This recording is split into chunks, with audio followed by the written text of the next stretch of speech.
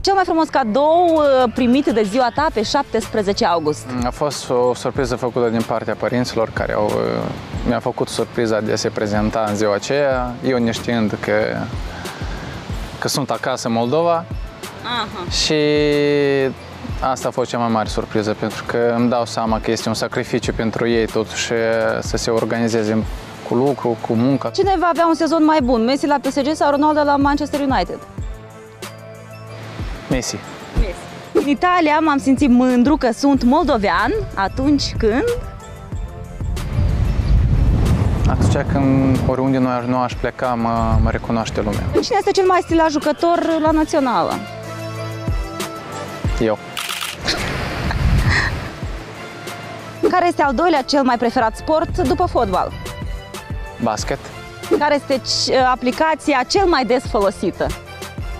E, știrile de sport. Ce tare! Dar ceva din jocuri voi, fotbaliștii, Nu am. aveți timp liber, nu Nu am nici treceți în zadar pe PlayStation jocuri. acasă. Pizza sau paste? Ambele. Impresar sau arbitru? Ce ai alege? Cred că impresar. Să începem cu portarul Golini, care recent s-a transferat de la Atalanta la Tottenham.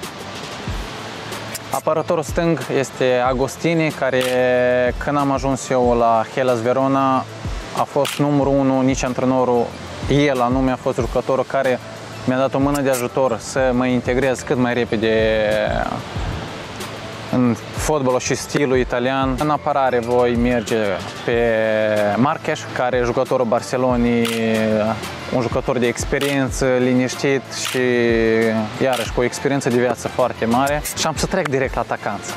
Nu la mijlocaș, nu. Este Luca Toni și Borello. Cred că Luca Toni știm cu toții cine Borello la fel. Este macho al Italiei. Și mijlocașii, unul din cei mai reușiți reușit sezon a fost uh, la Cagliari, doi ani în urmă, când Barella de la Inter și, și Garini și eu am format un trio în centru care am adus rezultate și meciuri spectaculoase la echipa aceasta.